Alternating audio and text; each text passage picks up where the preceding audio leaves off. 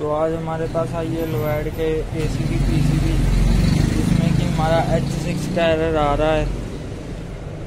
और ये जो एरर है, ये हमारा इसकी फ़ैन मोटर का एरर है। ये इसकी फ़ैन मोटर का जैक है, इसमें डीसी फ़ैन मोटर लगी हुई है। तो ये एरर जो हमारा मोटर का है तो सबसे पहले तो हम इसकी मोटर चेक कर लेंगे कि इसकी मोटर ख़राब है या इसकी पीसीबी में प्रॉब्लम है। तो ये जो हमारी मोटर है, ये शॉर्ट है। जो इसकी ब्लैक और वाइट तार है, ये 15 वोल्ट की तार होती है इसकी। आप इसकी पीसीबी में देख सकते हो 15 वोल्ट लिखा हुआ है। तो ये जो हमारी मोटर है, ये शॉर्ट है। ये हमारी कंटिन्यूटी का जो हमारे मीटर का बज़र मोड है, वो इस पर कंटिन्यूटी बीप दे रहा है।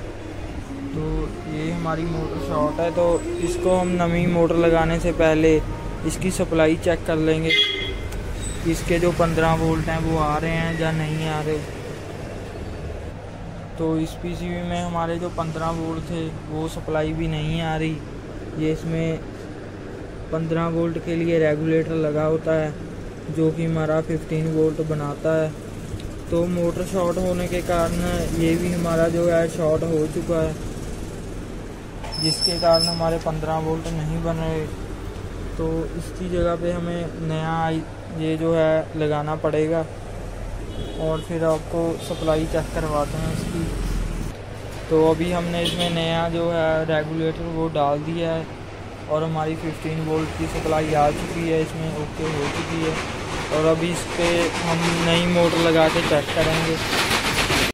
तो अभी हमने पीसीबी को ऑन किया है और मोटर लगा दी है इसमें चेक करने के लिए। तो अभी देखते हैं हमारी मोटर ऑपरेट होती है या नहीं।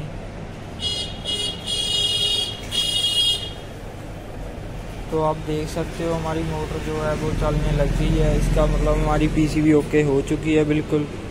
अगर आपके पास भी ये एरर आ रहा है तो आप मोटर इसकी चेक कर सकते हो।